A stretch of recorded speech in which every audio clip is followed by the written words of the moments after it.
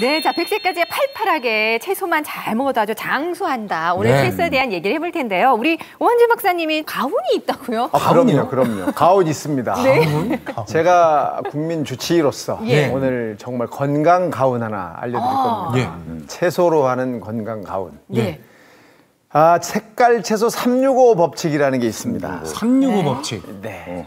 369, 369가 아니라 365 법칙입니다. 365 예. 법칙. 하나씩 네. 떼보겠습니다. 자, 하루, 세 번. 하루 세 번. 네. 채소 여섯 가지 이상을 다섯 가지 색 이상으로 잡수시는 게 좋겠다. 네, 이건데요. 이걸 다시 365로 또 해보면 네. 삼대가 네.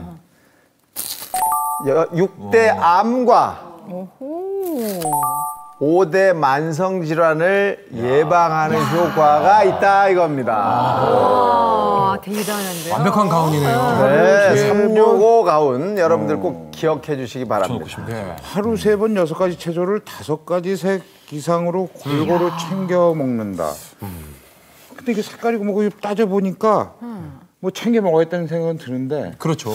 이게 과연 쉬운가 어쩐가 이게 이거 어떤 채소를 먹어야 되는지 잘 모르겠네요. 그렇죠. 사실 쉽지는 않습니다. 우리 김한 씨는 채소 좀 드시나요? 네, 저도 채소가 이 건강에 좋다고 그래서 채소 진짜 많이 먹죠. 뭐 파프리카나 아니면 뭐 토마토 뭐 이런 거 굉장히 많이 먹고 있습니다. 아, 그래요?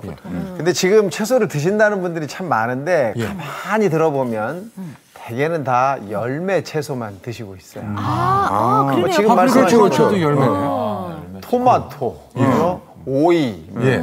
가지 이런 거 예. 다 열매 채소거든요. 근데 채소는 열매 채소만 있는 게 아니에요. 뿌리 채소도 있고 열매 채소도 있고 이파리 채소도 있습니다. 채소.